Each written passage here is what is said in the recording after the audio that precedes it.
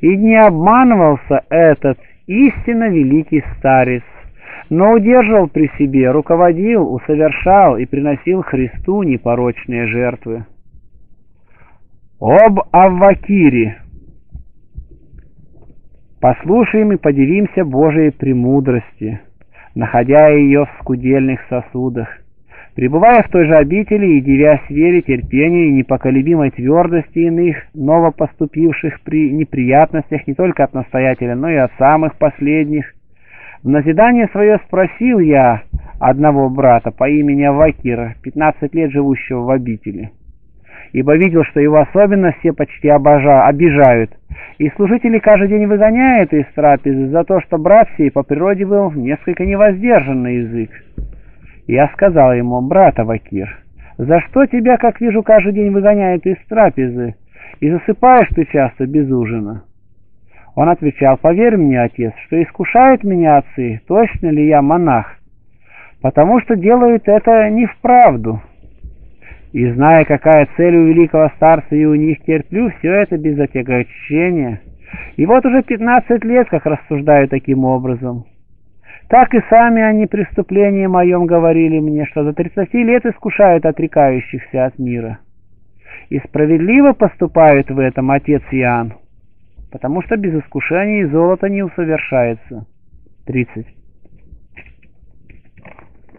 Этот доблестный Авакир, прожив в монастыре два года по моем туда прибытии, переселился ко Господу и, находясь при смерти, говорил отцам так – Благодарю, благодарю Господа и вас, ибо искушаемый вами во спасение мое семнадцать лет пребывал я неискушаемым от бесов. И правосудный пастырь, воздавая ему должное, велел, как исповедника, положить его с почивающими там святыми. О Македонии архидиаконе, страница 50. Всем ревнителям совершенства сделано сделаю обиду, если сокрою в гробе молчания заслугу и подвиг Македонии, первого из тамошних диаконов. Этот покровительствуемый Господом муж однажды перед наступлением праздника святых богоявлений, именно за два дня, усильно просит пастыря, чтобы позволил ему сходить в город Александрию для какой-то собственной его нужды, обещаясь как можно скорее возвратиться из города по причине праздничного последования и приготовления. Но ненавистник добра дьявол положил препятствие архидиакону, и он, отпущенный игуменом, не поспел в, окоби... в обитель к святому празднику, и в назначенный настоятелем срок пришел уже на другой день. Пастырь отлучает его от диаконского служения и не изводит в чин самых последних из новоначальных. Этот добрый диакон, терпя и истинный архидиакон твердости – как радушно принимает от отца это определение. Как бы не его, а другого кого подвергали наказанию. Когда же сорок дней был он в таком чине, мудрый пастырь снова возвел его на собственную его степень. Едва прошел день, как архидиакон умоляет пастыря, чтобы оставил его в прежнем наказании и бесчестии, сказав ему, что в городе непростительно пал он, Преподобный, зная, что Македоний сказывает ему неправду, только ради смирения домогается наказания, уступил доброму желанию труженика. И вот было зрелище. Почтенный сединами старец проводит дни в чине новоначальных и чистосердечно умоляет всякого помолиться о нем, ибо говорит он о себе «Впал я в блуд прислушания, но мне смиренному открылся этот великий Македоний. Для чего добровольно вступил он в такой уничиженный образ жизни? Никогда, — говорил он, — не видел я в себе такого облегчения от всякой брани и такой сладости божественного света, как теперь. Ангелам, — продолжал он, — свойственно не падать, а может быть, как утверждают иные, не могут они пасть. Людям же свойственно падать, и всякий раз, как скоро случится это, как можно скорее восставать. Но демонам, и только одним демонам свойственно падши не восставать. О другом некоем брате. Брат, надзиравший за службами обители, открылся «Когда был я еще молод, — говорил он, — и на моем попечении был скот, случилось мне ввергнуться в весьма тяжкое душевное падение, поскольку же никогда не было у меня привычки таить змею в норе сердца своего, то, схватив ее за хвост, под хвостом же, разумею, конец дела, показал врачу, он, улыбаясь и слегка ударив меня по щеке, сказал мне, «Иди, чада, продолжай службу свою, как прежде, немало не страшась». И я, с пламенной верой положившись на это, в течение немногих дней получил удостоверение в своем исцелении и продолжал путь свой вместе и радуясь, и трепеща. Всякие роды твари, как говорят иные, имеют свои разности, отличающие один род от других. Так и в соборе, братья, были разности и в приспиянии, и в расположении.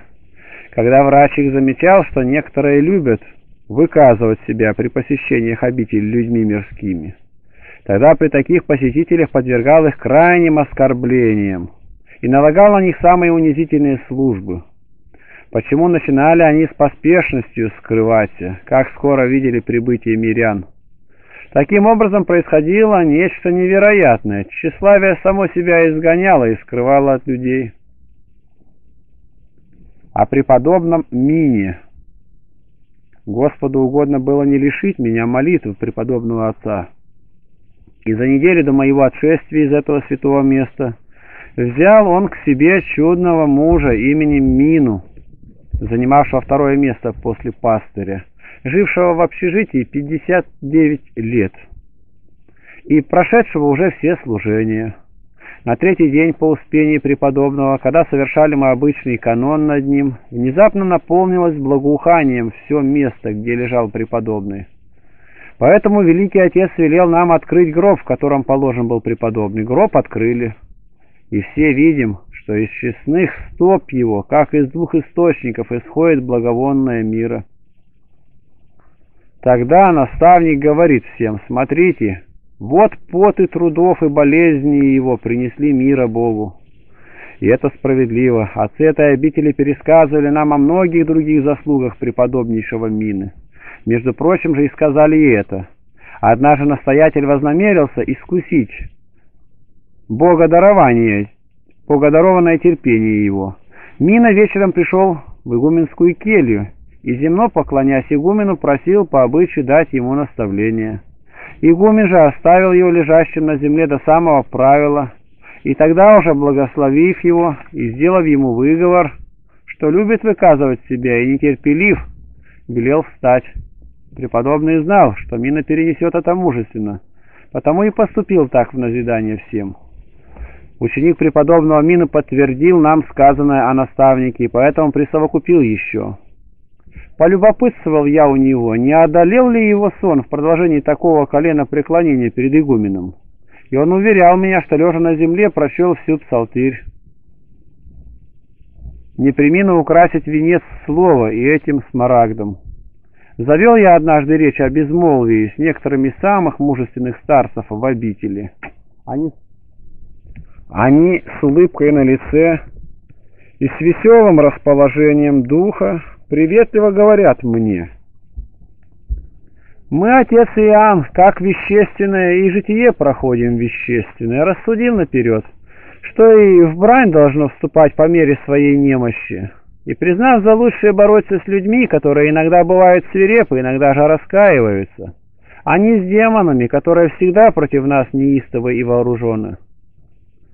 Некто же из этих преснопамятных отцов, возымев ко мне великую по Боге любовь и доверенность, благосклонно говорил мне, «Ежели в тебе, мудрый муж, есть сила, сказавшего о себе с душевным чувством, все могу укрепляющий меня Христе, ежели снишел на тебя Дух Святой росою непорочности, как на святую Деву, ежели сила Вышнего осенила тебя терпением, то как муж, Христос Бог, припаяшь чресла свои полотенцем послушания, и восстав с вечера безмолвия, умой ноги, братья, в сокрушенном духе. Лучше же сказать, припади к ногам собора смиренными мыслями. У дверей сердца своего поставь строгих и неусыпных привратников, управляя неудержимым умом, в развлекаемом заботами теле, имея удободвижные и колеблющиеся члены. Упражняйся в умном безмолвии. И что всего славнее, среди мятежей будь неустрашим в душе. Связывай язык, который неистово рвется на прикословие. Семьдесят крат седмирицию в день борись с этим властелином. На душевном древе, кресте, утверди наковальню ум, который бы при непрерывных ударах в него молотами и при непрестанном стуке, то есть поруганиях, осмеянии, обидах, никак не мог быть сокрушен и не подвергался бы повреждению, но оставался совершенно гладким и непоколебимым. Совлекись воли своей, как срамной одежды, и обнажаясь выходи на поприще. Облекись в редкую и с трудом приобретаемую броню веры в бегоположника своего, не дозволяя расслаблять и уязвлять себя неверию. Уздою целомудрия сдерживая бесстыдно устремляющееся осязание. Помышлением о смерти снижай око, которое ежечасно готово с любопытством смотреть на величие и красоту телесную. Обуздывай пытливый ум, который при собственной заботе о себе самом готов осуждать брата в нерадении. Побуждай тот нелестно изъявлять всякую любовь и сострадание к ближнему.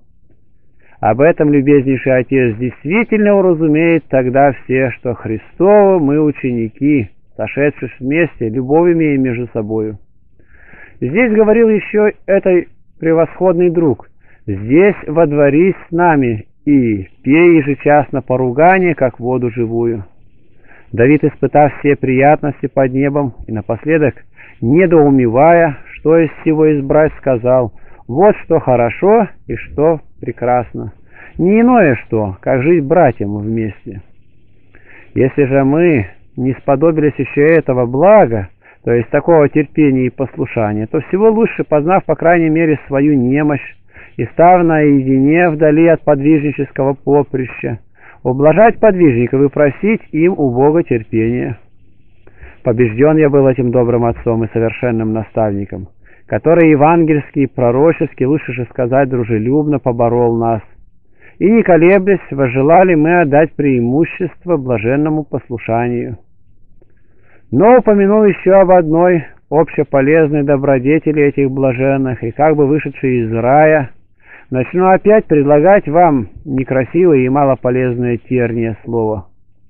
Блаженный пастырь замечал неоднократно, что иные вели разговор, когда стоим мы на молитве. Таковых на целую седмицу ставил он у церкви и приказывал, чтобы делали поклон всякому входящему и выходящему. И что удивительнее, поступал так даже с клириками, то есть старейшими. Приметив, что один из братьев на псалмопении стоит с большим сердечным чувством, нежели многие другие с большим, особенно же в начале песни, своими движениями, переменами в лице, как бы разговаривает с кем, просил я объяснить, что значит этот обычай блаженного. Он же, зная, что не полезно скрывать, сказал, «Не имея привычку, отец Иоанн, в самом начале собирать свои помыслы, ум и душу, и призывая вопиять им, Придите, поклонимся и преподем самому Христу, Цареве и Богу нашему. Полюбопытствов узнал я также следующее о надсматривавшем за трапезою. Приметив дощечку, которая всегда висела у него на поясе, доведался, что всякий день, записывая на ней свои помыслы, все те открывает пастырю. Увидел же, что не он один, но и весьма многие другие из тамошних братьев делали тоже, а на это, как услышал я, была даже и заповедь великого пастыря. 40. Однажды изгнан был им некто из братьев за то, что клеветал перед ним на ближнего, называя его пустословом и болтливым. Изгнанный не отходил от ворот обители целую неделю, прося себе дозволения войти и прощения. Когда узнал об этом ревнующий о спасении душ пастыря и разведал, что брат этот в продолжении шести дней вовсе ничего не вкушал, Тогда объявил ему, если решительно желаешь иметь жительство в обители, то не изведу тебя в чин кающихся. Когда же брат, принося покаяние, принял это с радостью, пастырь велел отвести его в особенную обитель плачущих о своих грехопадениях, и что и было исполнено. Поскольку же упомянул я о сказанной обители, то дадим о ней краткое понятие. В расстоянии на одно поприще от великой обители было место, называемое темницей, лишенное всякого утешения. Там никогда не было видно ни дыма, ни вина, ни елея в пище, ни другого чего-либо, кроме хлеба и в малом количестве овощей. Сюда-то, впадавших в грех по призванию в братство, пастырь заключал безвыходно, и не вместе всех, но каждого особо и отдельно, или не более как подвое, и держал там, пока Господь не удостоверял его об исправлении каждого. Поставил же над ними и наместника, мужа великого по имени Исаака, который от поручаемых ему требовал непрестанной почти молитвы, и а в предотвращении уныния было у них большое количество ветвей для плетения корзин. Таков был образ жизни, такое постановление, такое препровождение времени у действительно ищущих лица Бога Яковля. Прекрасно удивляться трудам святым, спасительно соревновать им. Но захотеть вдруг сделаться подражателями житию их и неразумно, и невозможно.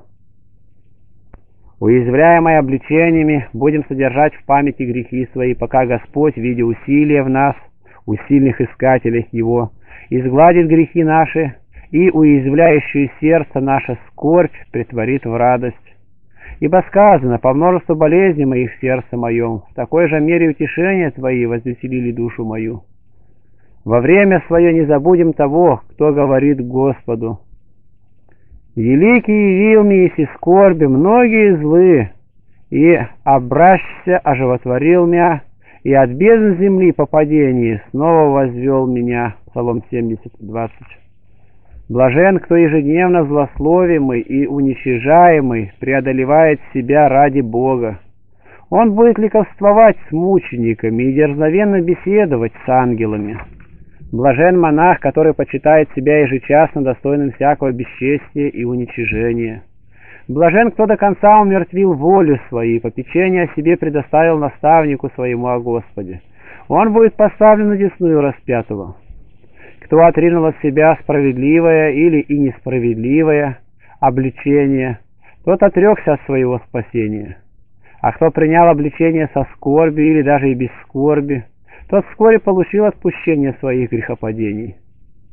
Мысленно свидетельствуй перед Богом искреннюю веру и любовь к Отцу Твоему, и Бог, наконец, неведомым образом внушит Ему, что по мере Твоего к Нему расположения и Он к Тебе стал привязан и благорасположен. Кто всякую змею выставляет на позор, тот показывает в себе действенную веру, а кто скрывает, тот блуждает еще вне пути спасения. Тогда человек, несомненно, познает свое братолюбие и свою любовь, когда увидит в себе, что он плачет о прегрешениях брата и радуется его преуспеянию и дарованием.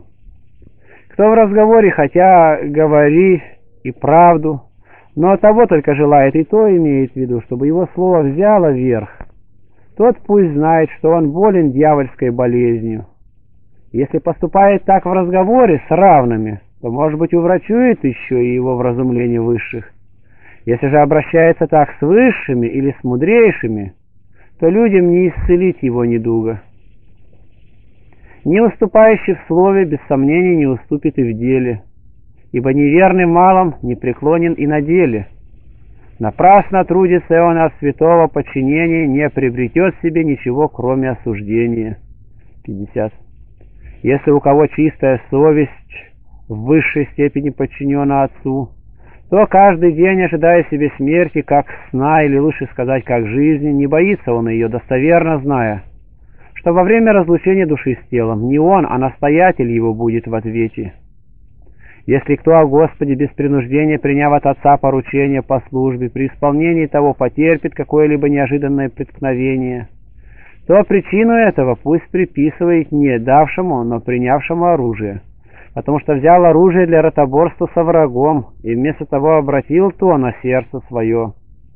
Если же принудил себя ради Господа и дающему поручение предварительно говорил о своей немощи, то пусть благодушествует, хотя он и пал, однако же еще не умер. Забыл я, возлюбленные, предложить вам еще сей сладкий хлеб добродетели.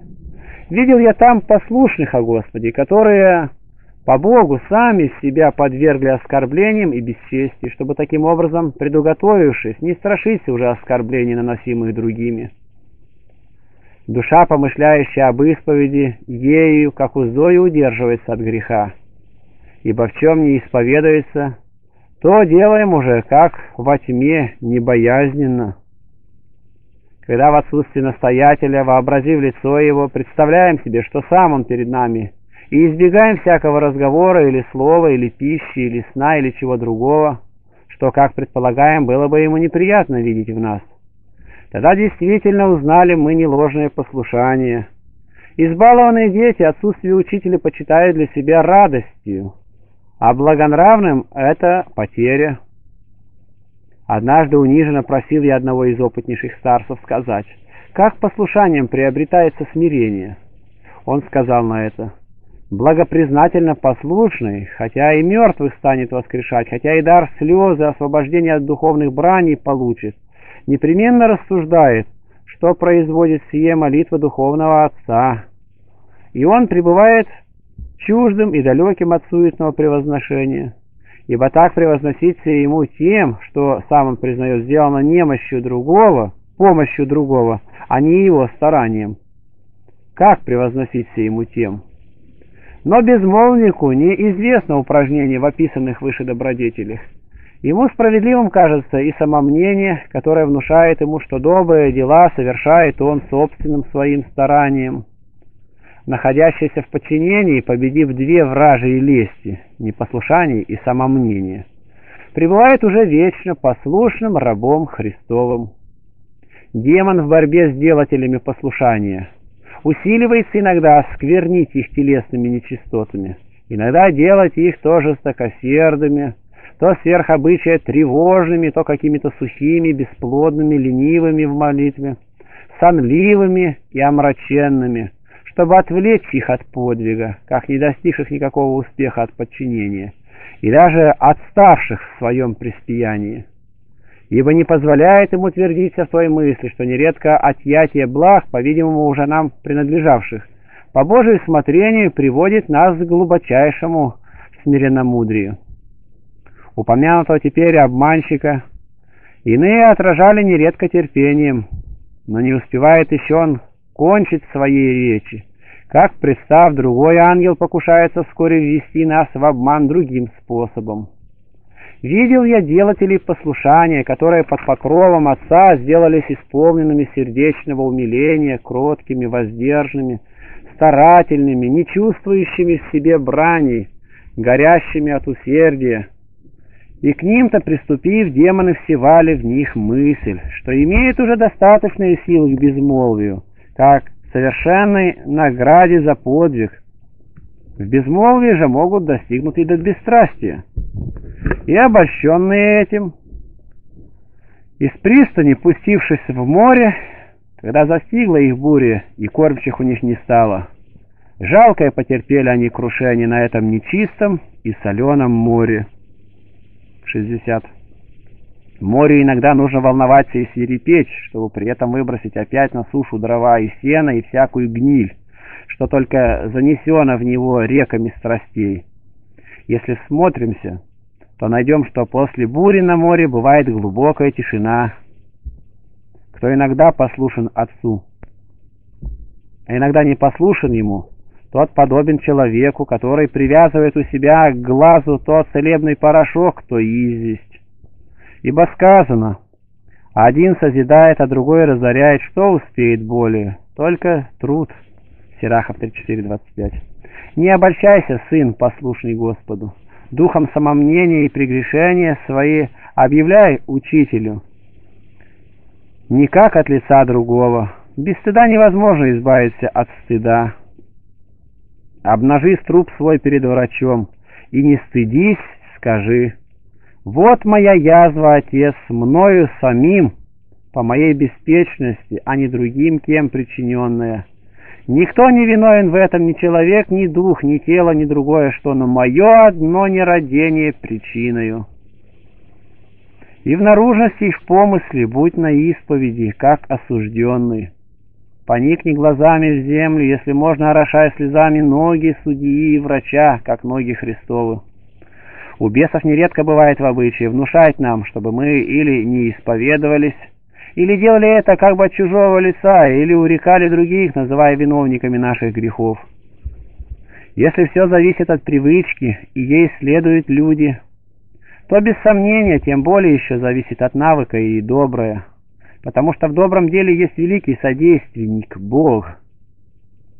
Не будем много лет трудиться, сын, ища в себе блаженного покоя, если вначале от всей души предашь себя на терпение бесчестия.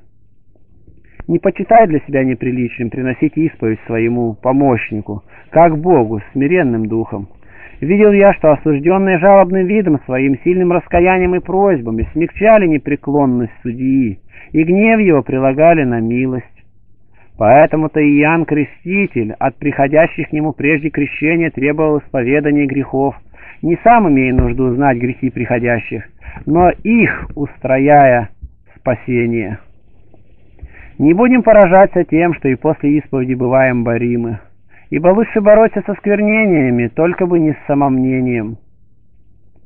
Не порывайся и не возносись мыслью, слыша повествование об отцах-безмолвниках и отшельниках, ибо и ты ходишь в воинстве первомученика, и падай не удаляйся с поприща, ибо тогда-то особенно и нужен нам всего более врач – кто и при помощи приткнулся ногой от камень, тот без помощи, конечно, не только упрекнулся, но и нашел себе смерть. 70. Когда доведены мы до падения, тогда демоны, немедленно наступая на нас, и в предлог взяв что-либо благовидное, вернее же сказать неблагоразумное, поставляют нам на вид безмолвие. Цель же вравов та, чтоб при падении нанести нам и раны. Когда врач отказывается, сознаваясь в бессилии, тогда необходимо идти к другому, потому что редкие исцеляются без врача. Кто же вздумает противоречить нам, когда скажем, что всякий корабль, имеющий искусного кормчего и подвергшийся крушению, без кормчего неминуемо погибнет? Следствие послушания – смирения, следствие смирения – бесстрастие, если только во смирении нашем помянул нас Господь и избавил нас от врагов наших. Поэтому ничто не препятствует сказать, что следствие послушания – бесстрастие, в котором достигается конец смирения. Смирение начинается послушанием, как закон Моисеев. Моисеем, а черь усовершает матерь свою, как Мария, синагогу. Всякого наказания от Бога достойны те больные, которые, испытав искусство врача и получив от него пользу, из предпочтения к другому оставляет его прежде совершенного выздоровления. Не бегай рук того, кто привел тебя ко Господу, ибо во всю жизнь свою никого не будешь столько уважать, как его. Небезопасно неопытному воину отлучаться от полка и выходить на единоборство. Не безбедственно и монаху без опытности и долгого упражнения в борьбе с душевными страстями отходить на безмолвие. Тот подвергает опасности тело, а это душу. Писание говорит, благи два более единого. Екклесиас 4.9. То есть хорошо сыну вместе с отцом при содействии Божия Духа вступать в борьбу с прежними своими пристрастиями. Кто у слепого отнимает руководителя, у стада пастыря, у сбившегося с дороги путеуказателя, у младенца отца его, у больного врача, у корабля кормчего, кто тех и других вводит в опасность. А кто намеревается без помощи других вести брань с духами, тот бывает ими умершлен. Вступивший во врачебницу пусть сначала обращает внимание на свое болезненные припадки, а пребывающий в подчинении на свое смирение. Первым облегчение болезненных припадков, последним возрастающее у них самоосуждение служит не ложным признаком здоровья – и притом таким признаком, каким не может быть ничто другое. Совесть да будет тебе зеркалом для поверки твоего послушания, и этого довольно. Подчиняющийся отцу в безмолвии противоборниками имеет демонов, и их только одних, а пребывающий в общежитии борется вместе с демонами и с людьми. Первое всегда имея перед собой учителя, строже соблюдает заповеди его – Последние же нередко по причине отсутствия его и нарушают их несколько. Впрочем, если и которые тщательны и трудолюбивы, то с избытком восполняют они этот недостаток терпением огорчений и получают сугубые венцы. Всяким хранением блюди, притча 3.23, будем охранять себя, потому что пристань, полная кораблей, удобно сокрушает их, особенно же, если они раздражительностью, как червем, незаметно источены. Постараемся показывать крайнюю молчаливость и неведение при настоятеле. Молчаливый сын любомудрия. Он во всяком случае приобретает много ведения. 80. Видел я послушника, который как бы ловил слова из уст настоятеля. Но я отчаялся в его повиновении, примечая, что настоятелева речь служит для него к гордости, а не к смирению. Будем со всяким трезвением трезвиться, со всей наблюдательности наблюдать и со всякой осторожностью остерегать себя, вникая, когда и как должно служение предпочитать молитве, потому что не всегда непременно сие необходимо. 82, страница 69, лестничник. Будь внимателен к себе в присутствии братьев и никогда не спеши показывать себя в чем-либо праведнее их, ибо сделаешь сугубое зло, и их уязвишь своей лживой и притворной старательностью, и себя во всяком случае наведешь на высокоумие. Будь старателен в душе, немало не выказывая этого телесно, ни наружностно, ни словом, ни загадочным знаком, и это нужно, то есть быть старательным к душе если только перестал ты уничижать ближнего. Если же склонен еще к уничижению братьев, то будь подобен братьям своим, и ни в чем не отличайся перед ними по самомнению. Видел я неискусного ученика, который при некоторых людях хвалился добродетелями учителя своего, и, думая снискать себе славу чужим хлебом, скорее навлекло на себя бесчестие, когда все сказали ему, «Как же это доброе дерево произрастило бесплодную ветвь?» 85. Не за то, что мужественно переносим насмешку от отца, признают нас терпеливыми, но когда терпим, если и всякий человек пренебрегает нами и наносит нам удары, от отца же переносим и из уважения, и по долгу. Как воду жизни охотно пей поругание, Иов 34.7. От всякого человека, желающего напоить тебя этим питьем, очищающим от похотения.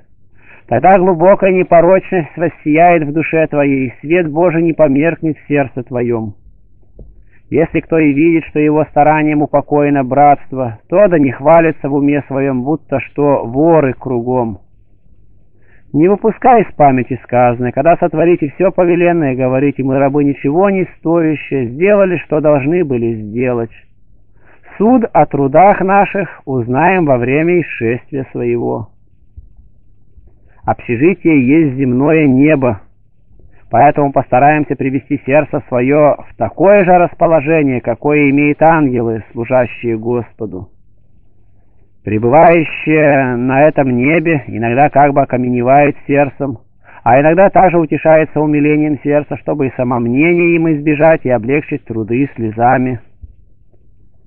Небольшой огонь размягчает великий кусок воска, так нередко и приключающееся нам малое бесчестие внезапно смягчает, услаждает и изглаждает сердце всякую свирепость, нечувствительность и ожесточенность. 90. Видел я однажды, что двое сидели скрытым, наблюдали труды и послушивали воздыхание подвижников. Но один делал это, чтобы соревновать, а другой, чтобы при случае укоризненно выставить на позор. И Божий делателю воспрепятствовать в прекрасном делании. Не будь неразумным молчальником и не приводи других в смущение и огорчение. Не будь и медлителен в поступках и в походке, когда велено тебе поспешить. В противном случае ты хуже беснующихся и сметенных. Нередко видел я, как говорит Ио, что души болезнуют этим и по медлительности нрава, а иногда и по готовности на все, и дивился, как разнообразен порог. Кто не один, а вместе с другими, тот не столько может получить пользу от псалмопения, сколько от молитвы.